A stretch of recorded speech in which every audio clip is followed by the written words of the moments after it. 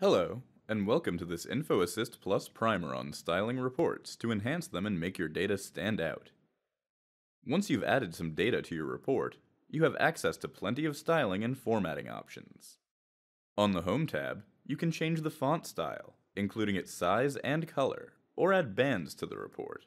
The bands make it easier to differentiate rows and tell which values go together. You can also add a header or footer, which shows up on each page of your report at the top or bottom respectively. You can also add other features like column or row totals. If you select a field from the query pane or a report column, you can style that column using the Field tab and change the font and background color of the data, column title, or both. You can also change how numeric fields are formatted.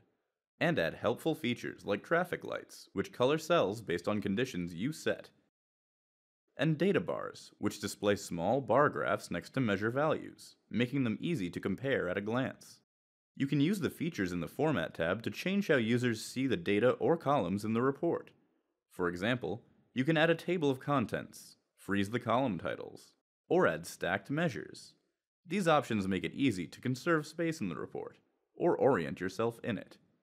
Finally, you can use the Layout tab to change the size and orientation of the page add page numbers, adjust cell padding, or use AutoFit, which resizes the report to fill the entire width of the page.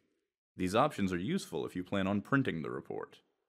If you want to change the appearance of the report without modifying everything manually, you can style the entire report instantly with a new theme or style sheet, which is a pre-made theme that styles the report before you make any changes to it. Take a look at some of the style sheets to see if any of them catch your eye. These styling options allow you to add your own personal touch to your report and make it easier for users to read. Learn more using the resources in our Information Center.